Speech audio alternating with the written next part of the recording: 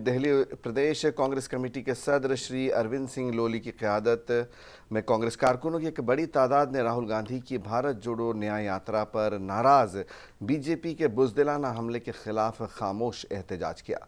Congress कारकुनान BJP headquarter का घेराव करना चाहते थे, लेकिन पुलिस के आला हुकाम ने कांग्रेस कारकुनों को आगे बढ़ने की इजाज़त नहीं दी। आखिरकार कांग्रेस कारकुनों ने वहीं खामोश एहतजाज किया और आइंदा के लिए खबरदार किया कि अगर बीजेपी ने दोबारा ऐसी बुजदिलाना हरकत की तो कांग्रेस कारकुनान बीजेपी के दफ्तर का गैर मुना मुद्दत तक मुहासरा करेंगे।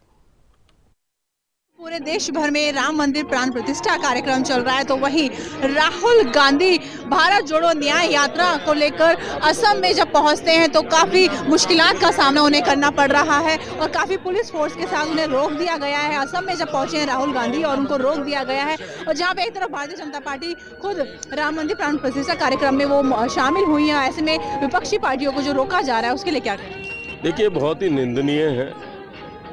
आज हम लोग जो है, जिस तरीके का कायराना हमला राहुल जी की यात्रा के ऊपर हुआ, उस सिलसिले में हम भारतीय जनता पार्टी के दफ्तर का घेराव करना चाहते थे। दिल्ली पुलिस ने हमें ऐसा करने से रोका।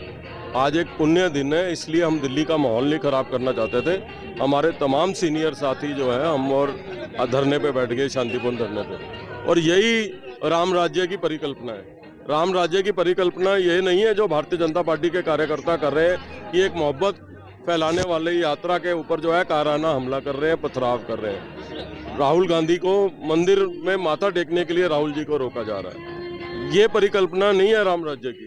तो इसलिए मैं इनको कहना चाहता हूँ कि जो अपने आप को सबसे बड़े भक्त बन रहे हैं, वो राम, भगवान राम के बारे में पढ़ भी लें। भगवान राम ने अपने आदर्शों में, रामचरित्र मानस में, सब संदेशों में ये कहा है कि मोहब्बत का पैगाम होना चाहिए, निर्मल मन वाले लोग होने चाहिए, छल कपट वाले नहीं होने चाहिए। हम भारतीय जनता पार्टी को वार्निंग देना चाहते हैं कि आज के दिन पे हम दिल्ली का माहौल नहीं खराब करना चाहते थे, ये अपने इन चल कपट से बाज आए।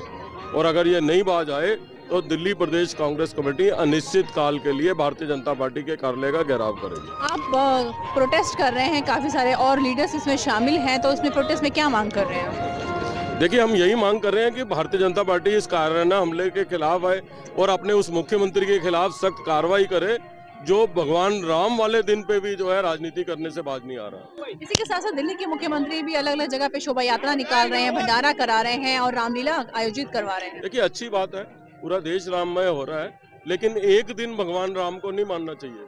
भगवान राम पूरा साल मानने वाले भगवान है। एक दिन भगवान राम को मानने से नहीं बात बनेगी। आपके मन में भगवान राम वास करने चाहिए। भगवान राम के आदर्शों को अपने जीवन में डालने की ज़रूरत है। इसीलिए कह रहा हूँ कि जो भारतीय जनता पार्टी हरकतें कर रही है, ये राम राज्य की परिकल्पना नहीं हो सकती। ठीक है, बहुत शुक्रिया। हमसे बात करेंगे तो ये थे हमारे साथ कांग्रेस प्रदेश अध्यक्ष अरविंदर सिंह लवली। टीवी के लिए गुलिशा दिल्ली।